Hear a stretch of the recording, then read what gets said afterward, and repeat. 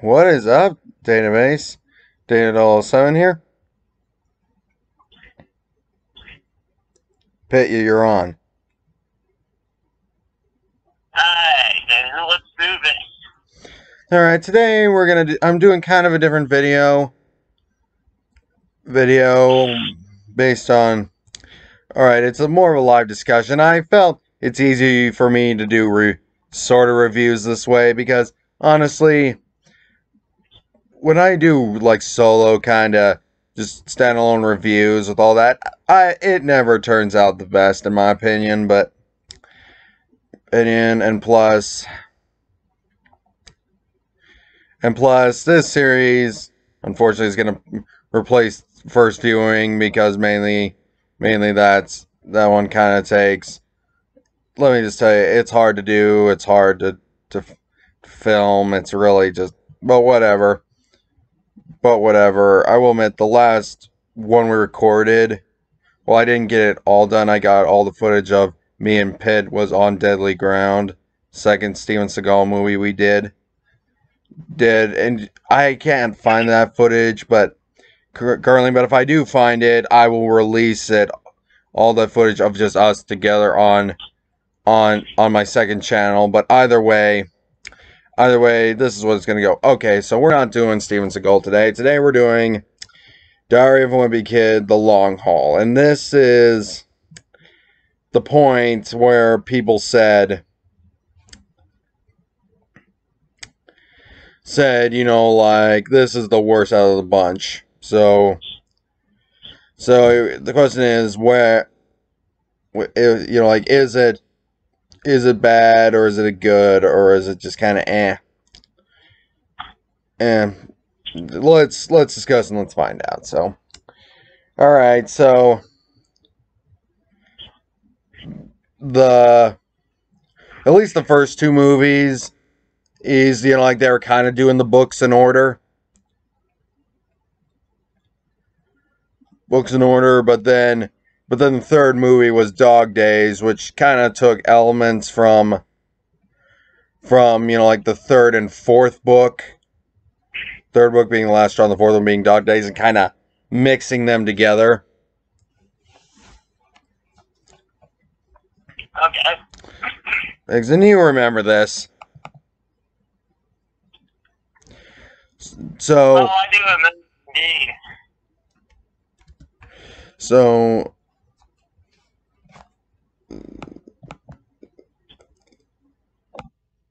So either way. Yeah, so either either way, for the first three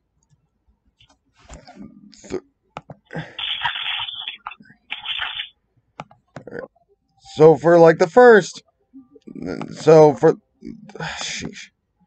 Your computer is acting up. Never mind, there's just notifications because I had to kind of pull up the cast list here. Uh, so basically, for so, but then you know, like we get to the long haul, which was I think the seventh book in the series.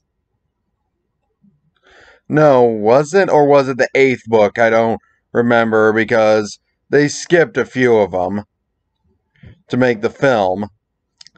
Film, and let's just go on. For the first three movies, movies, you know, the the cast at that point was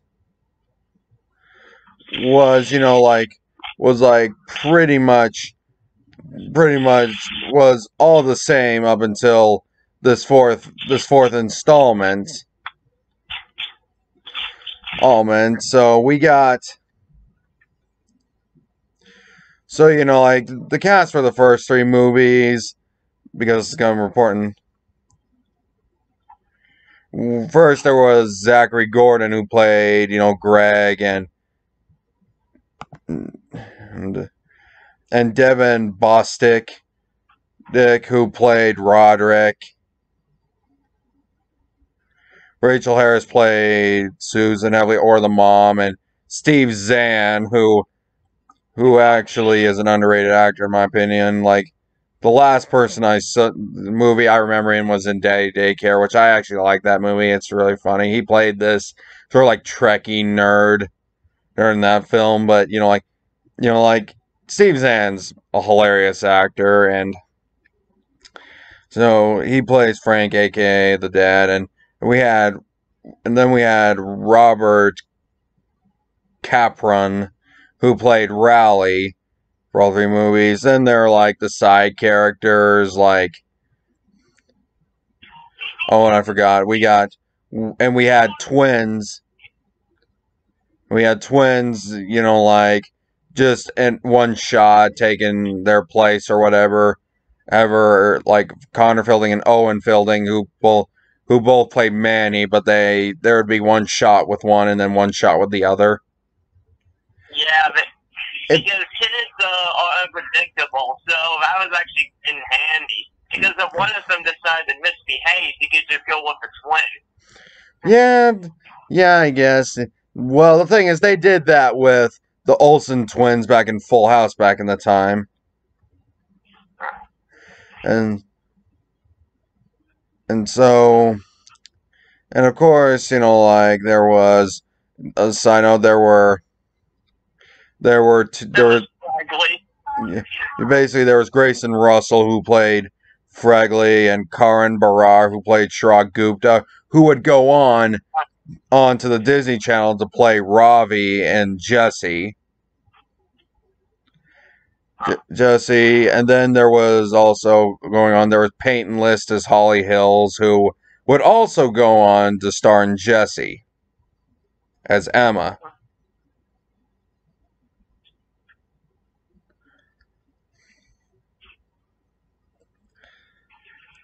And then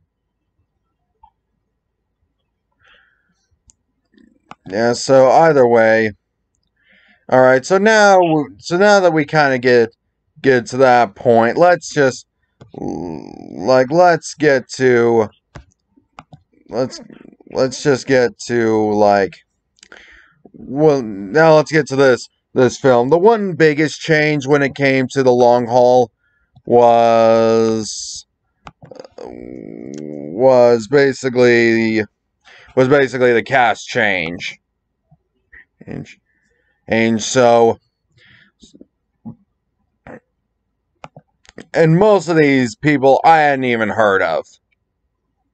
So they would definitely need the acting. And if they want new, they probably just started like indie films or something. Or maybe they're who knows, but either way. Alright, so then we and just so you know, there's a huge elephant in the room when it comes to the casting, but we'll get to that later. Er, all right, so basically,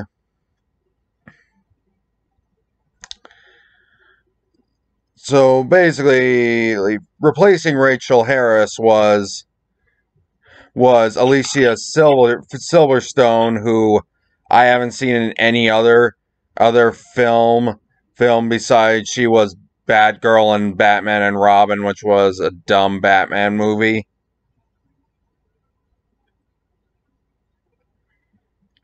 All right, all right. So then we had, then we had Jason Ducker, who or Drucker, who who replaces Zachary Gordon as Greg, Greg, and Tom Everett Scott, who I have no idea who that is who who replacing Steve Zahn, and and and then there was there was Owen Asztalos. I don't know how you pronounce that. Who played Rowley, which I'm just gonna get that out of the way get out of the way. He doesn't really have much to do with the film. He's only in the beginning of it and is only mentioned once throughout later of the film. Uh, yeah, I mean, the long haul really was one with not many others were in it. Yeah. It, it mainly centered around Greg and his family. And then we had And then once again, we have twins Wyatt Walters and Dylan Walters, who played Manny. Played Manny. And probably the most controversial of all the casting, Charlie Wright. Now let's talk about that. There was this like hashtag going around, hashtag not my raw Roderick, because you know, like to be honest, to be honest, and I kind of agree. You know, like Devin Bostick was was pretty much the the Roderick. You know, like no one else could see him, Roderick, as anyone else being played by him. You know. Okay. Him and while this particular choice, I will agree, is not as good as De- Devin Bostick was. It was, I mean, it's passable in my opinion, though. Though this one's a little more dumb and a little, just a little more dopey, a little more stupid, you know. And and you know, not as good, but I but he does all right. I'll say that. I didn't really have any. Uh, I just watched the movie. Yeah, but I honestly, uh, and now we just need to talk to you know, like the characters about kind of the character and personalities of this film. Like, basically, Jason Drucker's Greg Heffley. Like, I will admit, it's closer to the books in a sense, and where where where you know like while in the first three movies while greg was kind of how he was in the books he also had a side to him where he actually feels sorry for what he does when he does something wrong and you know like tries to make it better you know Okay. better because he because he knew he screwed up here Jason Drucker's is like I mean, I, some people might possibly find Gre- Greg's character annoying in this one because, and honestly, he's kind of a brat, to be honest. But that's how he was in the books. Yeah, that's just how he was in the book. He was in the books, but I, it, I guess it comes down to like you can get make up how he sounds in the book, you know, like to make it not how it was here, you know again, it's just kind of like why some people will say, you know, like a book is better because you can kind of, especially in a pictureless book, because you can make anything look like how you want it to, you know? Yeah, you can. And, all right, but either way, and then I already covered Roderick's character, like, and all right, so now let's just get into kind of the plot of this, this and how it goes down. A lot, I mean, well, unlike the book, there's kind of a point to this film. Basically, they're going on a road trip to go to their great grandma's, mama's ninetieth, ninetieth birthday. 90th birthday, and of course, they kind of get into a little shenanigans along along the way. And and of course, it's just kind of becoming, you know, like somewhat of a problem with them in a sense, because oh, it's a technology free thing, which uh, which I'll get to that get to that part of the movie in a in a few in a in a little bit, but so but also Greg has kind of a side plan that on the way he's gonna drop by this Player Expo. Oh yeah, I remember that. The whole when he wanted to go buy the during the trip, that was coming up with this whole plan to do it. Yeah, and he, the whole reason was, all right. So let's just get to the beginning. It kind of starts off in Corny's, which was, which that restaurant was in the Third Wheel book. Book, but here it's just like what ends up happening is like like in that book, like Manny gets stuck up there, and and and instead of Greg giving up, he manages. And I don't know why Manny couldn't just go down the slide to begin with. I don't know. And so he goes down the slide, and you know, like he goes into the ball pit, and he's looking. Greg ends up looking for Manny, but then he finds a a diaper in there because I don't know. And then he diaper, yuck. Yeah, and he basically goes like, and then he just starts screaming because he's like, ah, you know, diaper, diaper, diaper. And then everybody sees it and they start filming it. And everyone starts filming it and he goes viral. And then Roderick mentions, he's like, he's like, you've gone viral, bro. It's already got 6,000 views. And I'm like, 6,000 views is, is nothing. I mean, well, 6,000 people seeing you do that is still kind of embarrassing, I guess. Yeah, without a doubt, and it's embarrassing. So basically, he tries to.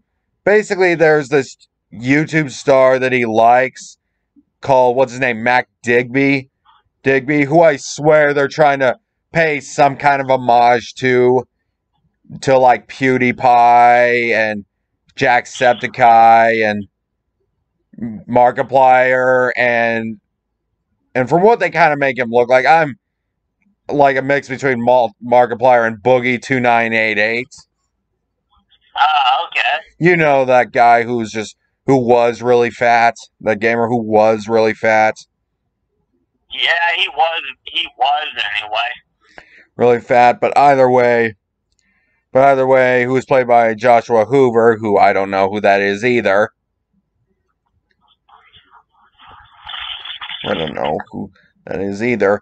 And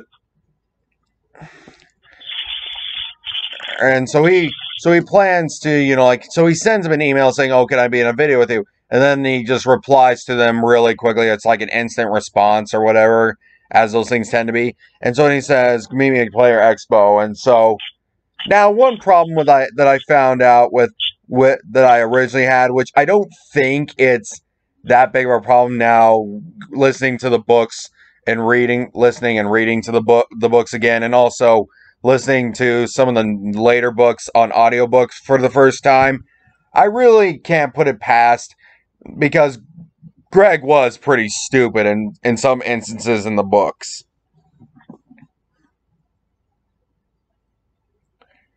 Books you know I mean, yeah, some people get definitely say that he was. Yeah, yeah. So I don't think it's so much out of the ordinary of what he would do in the book, but I think it's stupider than usual. Basically, so basically, he tries to find out where Indianapolis is from where they're for where they'll be, and then so he gets out of this map, map in a map book or whatever. He's like, and it's only showing a specific view, and he's like, oh, oh, it's only two inches from from where for where Meemaw's is, and like I'm just like, and then Rowley actually kind of makes a smart comment here. It's like he's like, I'm not sure that's how maps work, and it's true. That's not how it works.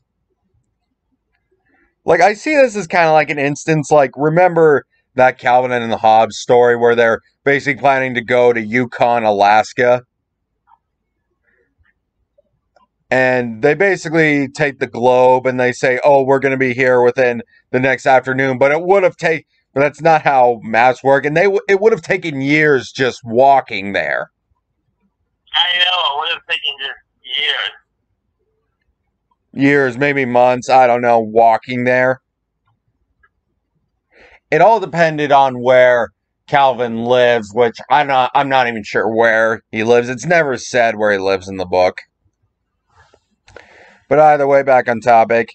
So so yeah, like there's like the whole. So then they get on the road and. And so then they stop at the first night at the hotel on the road and some shenanigans ensue and of course when they tell them it's an unplugged road trip you know like they're kind of just and to be honest roderick he like roderick he's basically like he's like, "This is not cool. Who do you think you are, bossing us around?" And I just and I just I just kind of chuckled at that. Being, I mean, I that always makes me chuckle mainly because because you know because because I'm just like, you're really gonna talk to your mom like that. I know, right? You're just gonna tell your mom, baby, like, "Who are you doing, bossing us around?" If honestly, if I said that to my dad, he'd probably smack me, but either way. Or he would get mad, but either way. So he. So and then there's this one point where they're just scrambling for things to do because obviously it's unplugged. And so then Roderick shows. Now this was in the book too, but it was portrayed as a past event in the book. Basically, Roderick makes a sign that says says help. These people are kidnapping us, and people is spelled wrong. Wrong, and then of course someone in the car sees it, and then they get pulled over by a state trooper, and then it's just kind of like he's just like, "You guys are in so much trouble." It's just so stupid, stupid. You can't. You. They're just like with the signs and everything. If people call the cops, uh, Yeah, and so. And so, yeah, they get chewed out by the cop in probably the most cheesy and over the top way. So they manage to get to the to like the first hotel stop, which like in the book, it's crappy, you know. And the whole thing, and it still has the same thing in the book, like like when they go to the grocery store when and Roger gets nothing on mo- on his mom's list. oh yeah, he does- he gets absolutely nothing. uh, nothing on mom's list and then and so then he like gets and then he puts that frozen pizza in what he thinks is a microwave but it's really a mini safe Oh yeah, so he can't even get the pizza out because he doesn't know the code. So Yeah. he's just like, oh jeez. So, these uh, in the so yeah that's kind of fun thing. All right all right all right sorry about that kind of a little cut right there but either way. So then we get to basically now in the book there there was this family that greg referenced to as beardos. Let's talk about these the let's talk about these guys for a little bit for a little minute. Basically the dad that the dad he let's just who the now let's just say the dad looks like Shay reminds me of a fat Shay Carl for some reason. And he kind of looks like Shay Carl too when he was fat and and of course there's always him trying to avoid and and literally the guy is pretty much acting like he's gonna beat up Greg. I'm like, what are you gonna what are you what's that gonna accomplish? You beating up a child because because just because he supposedly scratched your van with that cart when when I don't know how he didn't see that happen.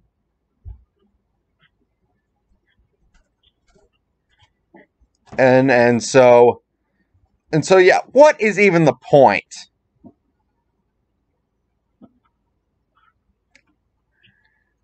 Are you really gonna beat up a kid? I swear. I know, right? Like, are you really gonna beat up a kid? I swear.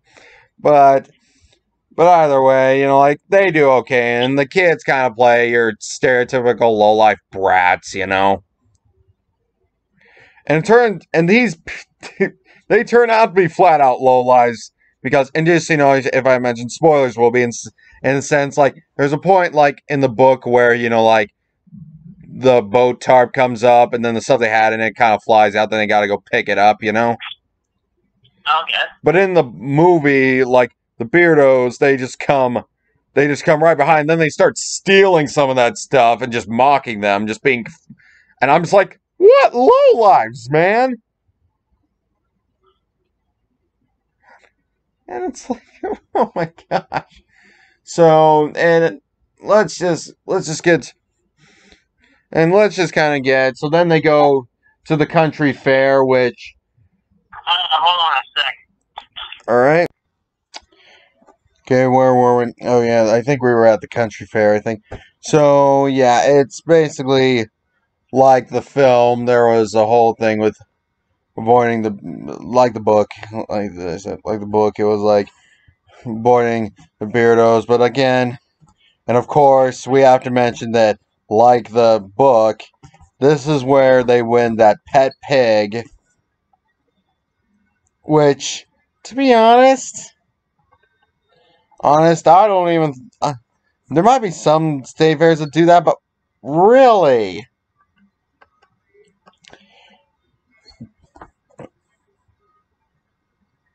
Really, there's like, like, especially with some people who come from this fair out of state, it's like they just expect to, everybody knows how to care for a pig just because they're out in farmland country.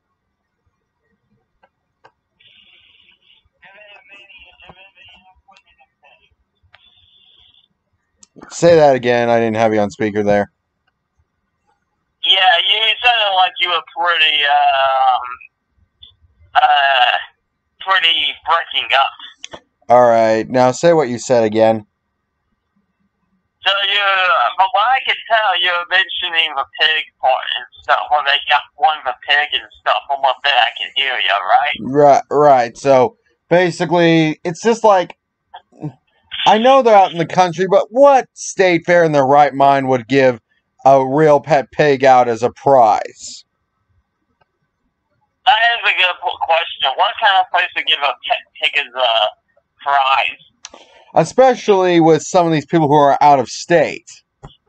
Yeah, I know. Out of state people, especially if they live in a big city, may not be able to take care of it. Exactly.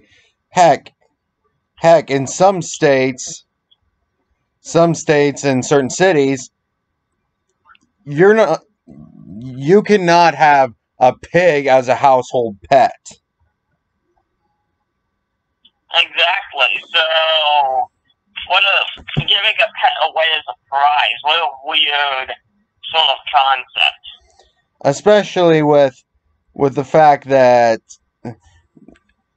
I don't know, and that's a grand prize for guessing how much that pig weighs, which it's kind of like that dumb thing at Lagoon. If you don't know what Lagoon is, it's an amusement park where we live.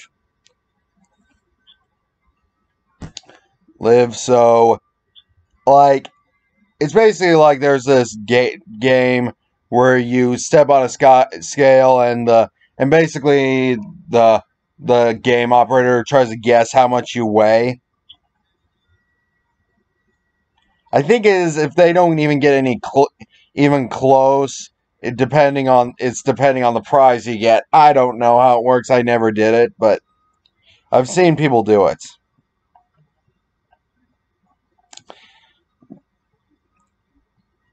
But but still, they got to take into consideration that like people who are from out of state, like I said, some you can only have them on farms outside the city. You cannot have them as a household pet.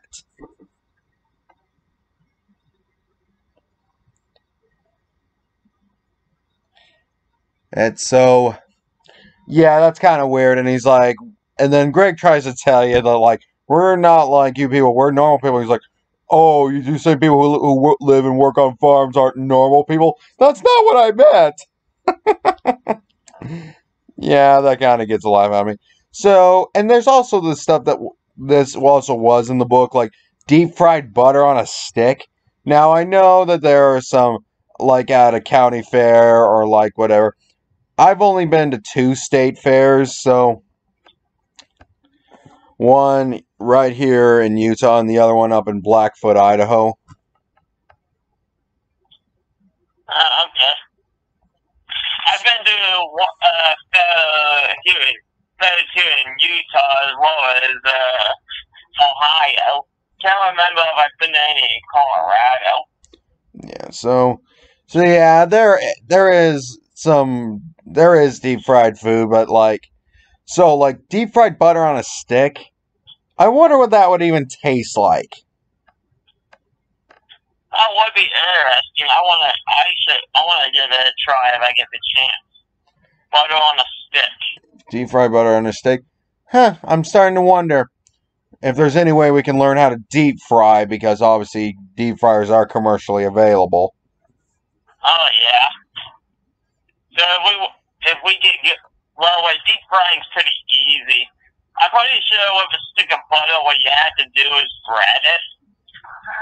And then, um, Like put the batter on it. yeah, just put the batter on it and fry it. Because of course you're gonna need some form of bread. Yeah. So, but then I forget you worked at Wendy's.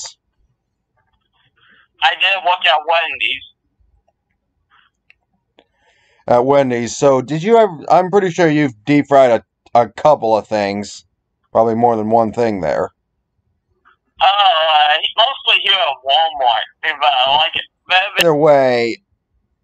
So either way, like. So yeah, and I I remember there was something. There was something on Disney Channel a long time ago. They were at a fair and they're like making mockery, like making fun of what kind of what kind of deep fried foods would be there. Like there was also deep fried shakes, deep fried shakes. Okay. which looks like basically like a deep fried, like looks which would probably be a milkshake, like in a basically a a cup made out of breading. All right then. That's what it looked like. He's like, oh, and at least they have healthy eating choices here: deep fried salads. Deep fried salad. I don't think that would even work, to be honest.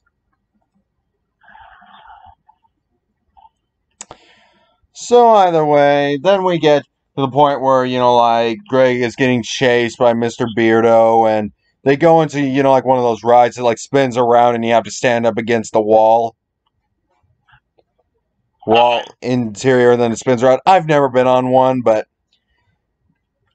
but apparently, you know, like you don't move because you know, like spinning the pressure is so great that it keeps you against the wall. Before. I've been on one of those before. They spin so fast that you're just.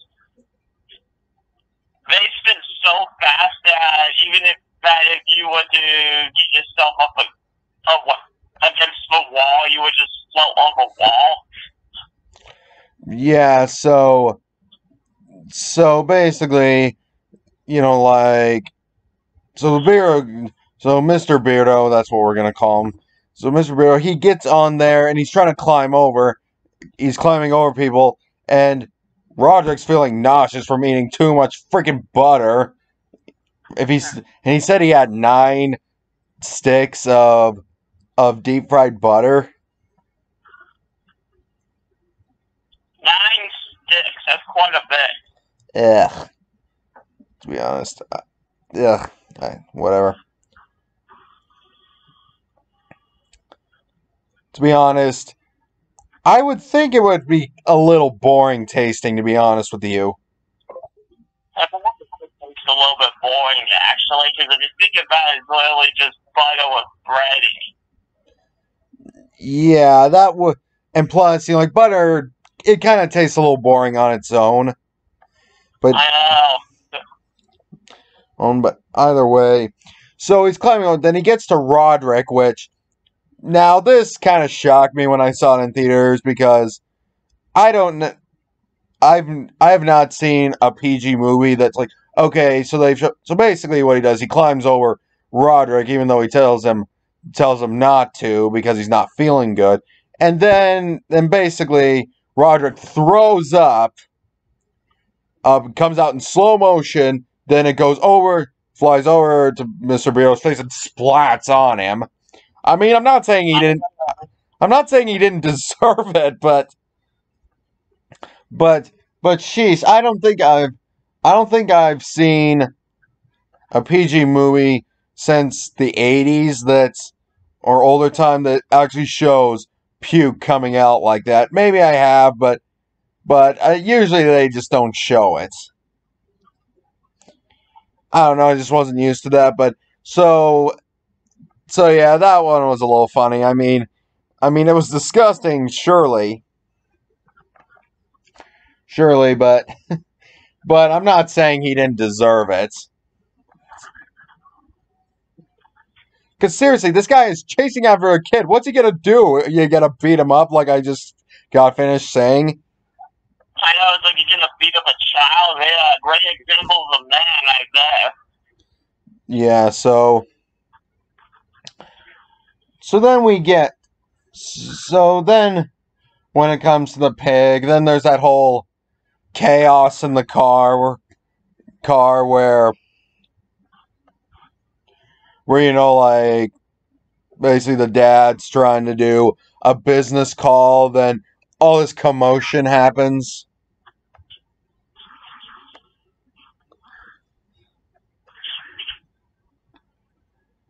yeah so either way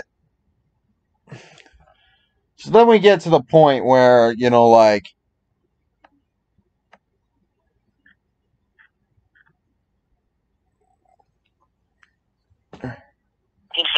where, where like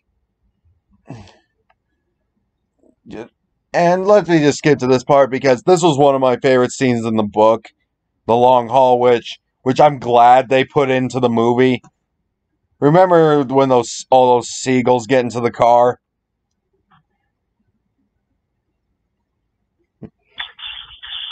Oh yeah, the seagulls. Yeah, they're just they're just uh, uh, driving, and all of a sudden the seagulls are like.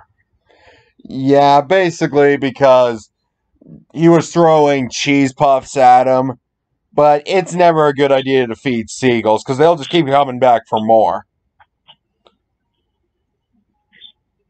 I know. That's why they tell you not to feed the birds.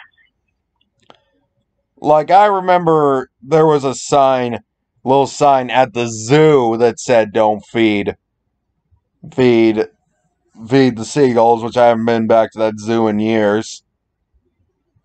I don't think I've been to a zoo for years either. Yeah, but then there's stuff that still hasn't hasn't changed there. I'm pretty sure, but either way, let's let's get to the point here.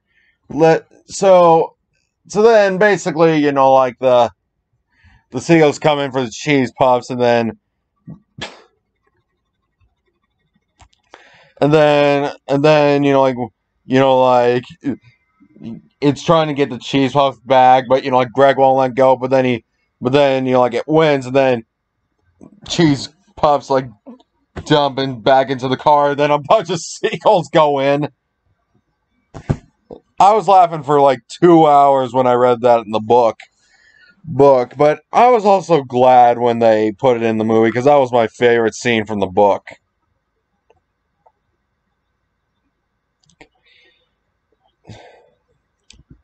Uh, so, so like let's now let's kind of get into the problems I personally have with this with this film, and this one is kind of the big one.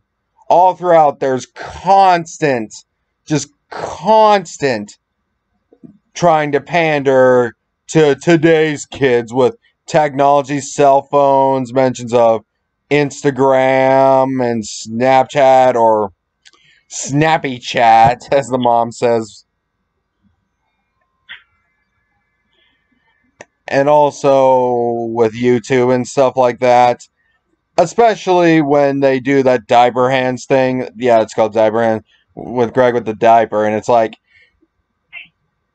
and he like he's like become a meme of sorts, and it's just like it's like even though even though it's clear that the create that the writers of this film have little understanding on how this type of culture works, yeah, this one is not going to age well at all.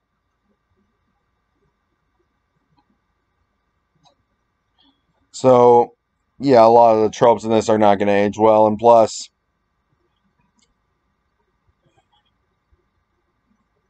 in fact, I kind of see it as kind of a sad commentary on today's society, unfortunately. That's, that's kind of on today's society. It's like it, the book, the movie was written by a boomer. Oh, like today's society doesn't know what the past is like. And so, yeah, there's constant that throughout the whole movie, and it's like you don't. It's just like they don't. It, it's just done without little with little understanding on how stuff like this actually works. Alright, so then there are jokes that don't work. Or- and other things are like some jokes that don't work and there's just one particular joke when they're trying to figure out how to get to the gaming expo. And he's like, "Do you have any money?" He's like, "No, we're gonna use Uber. It's completely free." Roderick's is like, just says that, and he's like, "They're like, then how do we make a profit?" He's like, "I don't know. I'm not a businesswoman." I don't know if that joke with the businesswoman thing really holds any water. Was Uber started by a woman? I don't know. I personally don't know to be exact. To be to be honest, and I really don't care to look it up, but but when it comes to that the Uber thing, it's only used to move the plot along. It's not really they don't even make a joke out of it. Okay, they do, but they don't make the joke they should, you know? Uh, the, the joke they make when they get there is like, I didn't think it would take one hour, it would take an hour to drive two inches. Yeah, I didn't think it took one hour to drive two inches. Do you want to know what the joke they should have made there? What's that? Roderick looks at his phone. He's like, huh, why am I, why is there suddenly a, why is it suddenly charging me? Oh, well. That, No, it's like, why is the one charging me money? Oh, well. To be honest, that would have ma- made that joke saying, oh, it's completely free work a lot better. But unfortunately, but unfortunately, it's just there to move the plot along. And then there's just stuff that's just dumb, like apparently, like first of all, the the music the parents choose is like Spice Girls. Oh, yeah. Like, I'll tell you what I want, what I really want. I'll tell.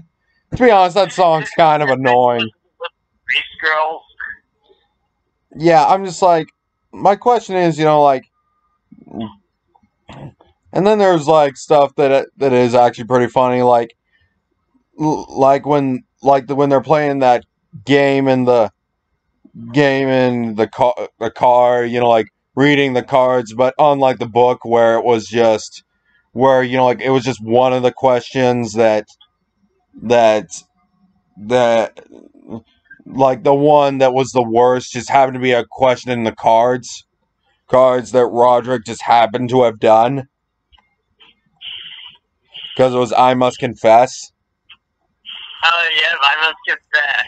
But then And but, but, but then confess to keeping an elderly woman's house. Yeah, yeah, but but Greg just kind of starts off reading the card, just try, just trying to, you know, like see if he'll confess, you know, the stuff that happened in the past. He like that's just how it starts, and so he's basically like, "Oh, I once broke a window with a BB gun and brained my little brother." Yeah, I totally did that.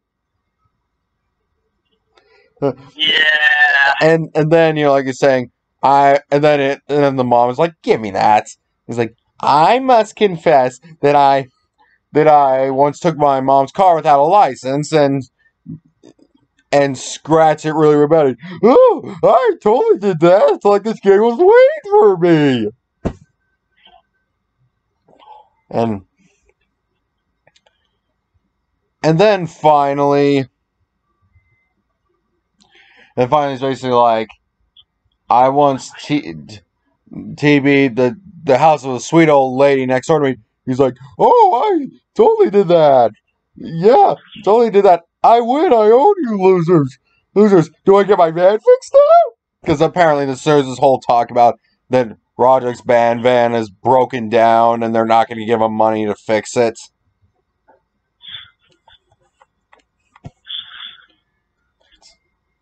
He's like, do I get my van fixed now? And also, let's just put it like here. Uh, Roderick is still just as dumb. I mean, Devon Bostick's Roderick was a little smarter, but not much compared to the books. Here, it's just like, like basically, he like Greg kind of suckers, you know, like Roderick into going to, to the Gamer Expo with him mainly for the silver. There's this drummer contest, like sort of like rock band of sorts, where the grand prize would be like I think it was a thousand dollars, but he does ends up do- doing terrible anyway. Wait, and he's and he makes oh I could buy three vans with that. No, you can't. It makes you wonder how the heck how the heck Roger is gonna get anywhere in life. Like how? How is he gonna get anywhere in life? That's that's a question that it that, that seems like nobody can answer. Because I mean, seriously, he has like no life skills whatsoever. It seems. No, he doesn't. And to think it would take him to the old school book but before he would actually get a freaking job.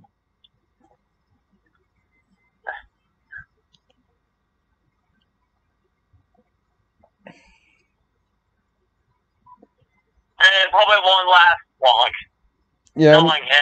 Yeah. Then then another thing that they that they brought from the book is when they're in the woods, like and they're out of signal with the GPS, and then those cinnamon rolls that that Roderick bought.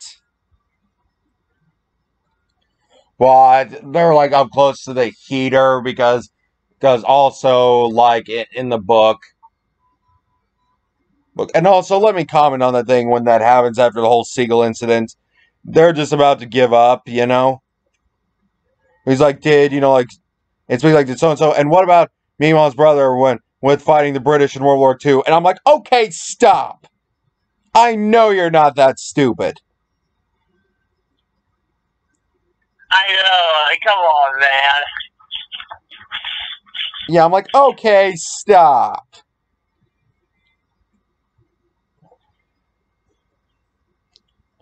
I know it was probably done to make a stupid joke.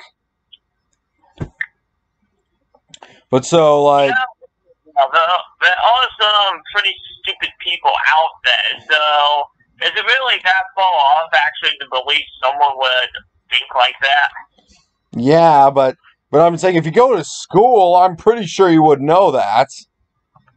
I mean, I mean, I'm- I mean, anything, though. I mean, they don't teach it that late, late in in school. They don't. So either way, back on this. So basically, the reason there was heat in there because, like the book, like the radiator thing was kind of shot, so they had to keep heat away from the radiator by turning the heat up to full blast, which would be really miserable. Oh, that would be. which would be pretty miserable.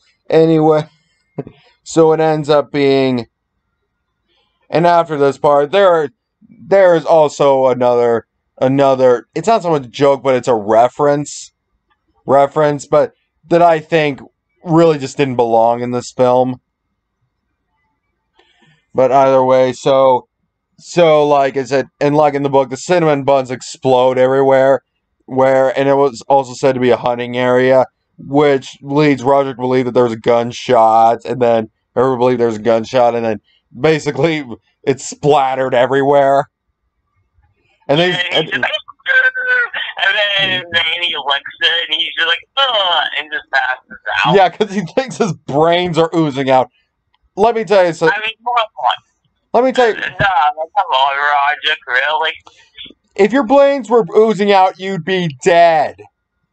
I know, you'd be dead, like, instantly. So, I still think that, was pretty funny. Anyway, so then there's like a reference, like they're basically they're all dirty after getting caught in the mud because they got stuck in the mud and they got splashed everywhere, splashed mud all over. He's basically like, and then like, and so then Rush like, relax, mom, you look like the girl from Mad Max, and he's, and then she mentions like one of the actors from the older films, which I haven't seen, but but and then Roger's like, no, the one one that got squashed by the water truck from the new one. Okay, that does not belong in a and belong in this type of film. I, I know, I was like, what the frick? They use this reference. I mean, I highly doubt a little kid, is, uh, a little kid watching it is gonna get reference, but right, but that's still pretty much saying a thing. And he's referencing that scene in Fury Road, which I have seen. Seen, and yeah, that does happen. I'm glad he didn't mention that that woman who got squashed by the water truck was actually pregnant. oh yeah, and then I, you see the scene where they cut the baby out of her, and it's just like. Ugh. Ugh. To be honest, to be honest, I was really disturbed when I first saw it. I'm like, oh man.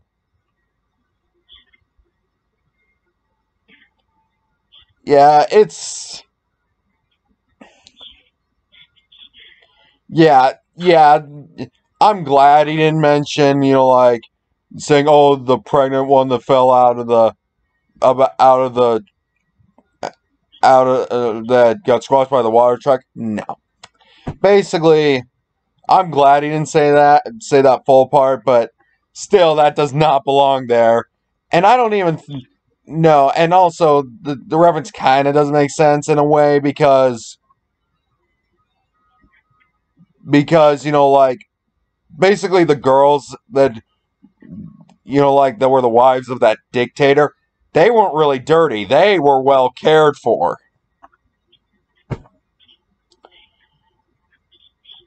But either way, that's just one reference. I don't think it's so much a joke as it's a reference, but it doesn't really work.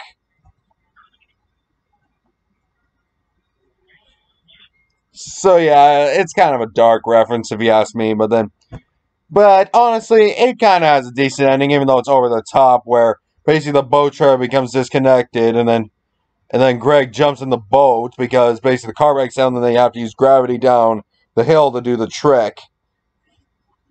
And you know, like Meemaw's backyard, it's just right there. And so basically, basically, you know, like Greg in the boat, it hits something, and then it launches right surprisingly precise into Meemaw's pool.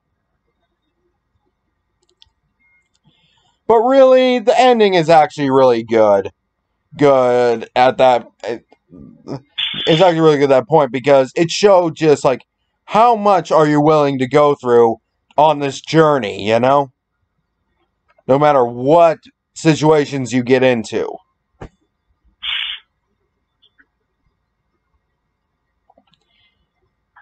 So it's, but then kind of the ending comes along and like, let's give, and also let's kind of get back to the Gamer Expo for a second.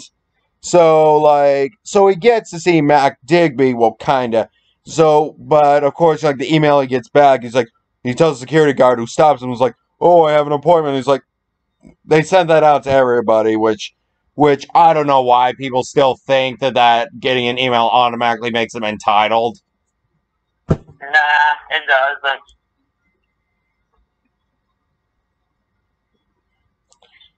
Title, but either way. So he basically does his whole thing, thing to sneak, sneak up, uh, sneak up on stage and basically have Roderick record him like right by Mac Digby, to act like they're hanging out or something, which ends up ruining his world record because you know like Greg like trips over the court after being spotted. But then I um yeah, Greg trips over the court and ruins it and everyone's like and everything. Mm. But let's get to the point. This is another good joke that works. So basically the parents are wondering where they are. But then you're like, man, he's playing with the TV and it's like then it goes to the news, which how is this gaming exposition newsworthy? I don't know. Oh, but so then they, so then he sees him on the news, and and as you know, like he's on the the mom's on the phone with the police. Actually, he's re- reporting two missing kids, but then he's he's like, actually, I'd like to report a double murder. At, uh, I, I, yeah, I report a double murder. I'd like to report a double murder at Player Expo in 30 minutes. I think that's really funny. They they said they said that to like the dispatcher because I'm assuming that's who she was talking to. Yeah, uh, yeah, she just did that right to the dispatcher. and I think that's really funny because because you could because they would still come out for that. I know you would still get in trouble for that. I'm pretty sure. Yeah, you still get in trouble for that. It's like it's so that actually was really funny. Probably one of the better jokes in the whole film.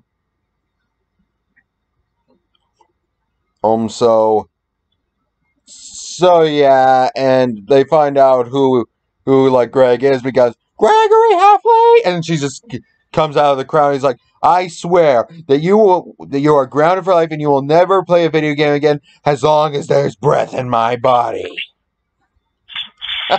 She's pissed. I mean, dang, yeah. And I and I like how she's walking up. Then then the security guard Kurt tries to stop her, but then she just gives her that look of "Don't even go there." And then the security guard backs down. Security guard's just like, oh, okay.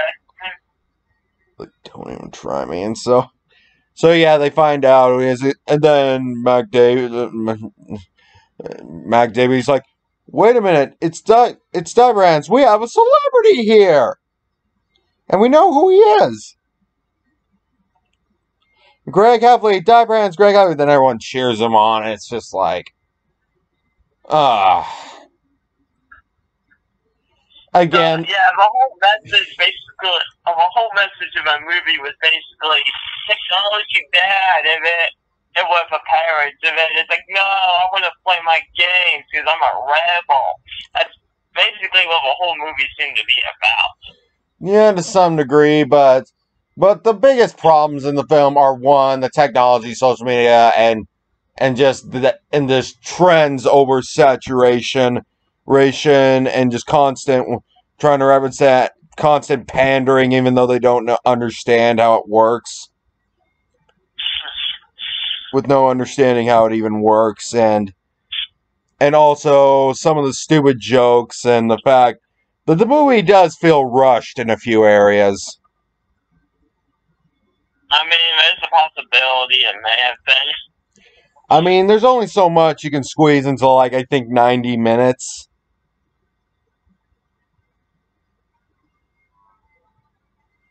Ninety minutes, but either way, but either way, it's really.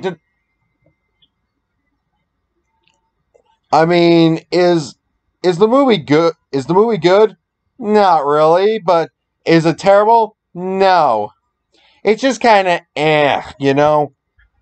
To really, I, I this is one I only recommend. Uh, I mean, I recommend it and kind of draw your own conclusions because I honestly don't know what to make of it as a whole. A lot of people have called it bad, which I guess in some points I can't argue.